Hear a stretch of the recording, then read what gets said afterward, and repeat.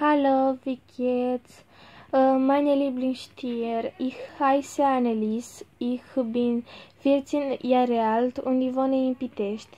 Ich gehe in die siebte Klasse und ich äh, habe keine Geschwister. Meine Hobbys sind Klavier, äh, Klavier spielen, äh, singen, Gesang spielen ähm, und Lieder äh, komponieren.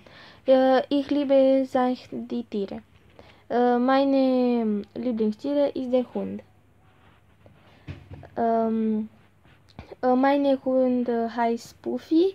Ähm, ist, äh, sie ist äh, zwei Jahre alt.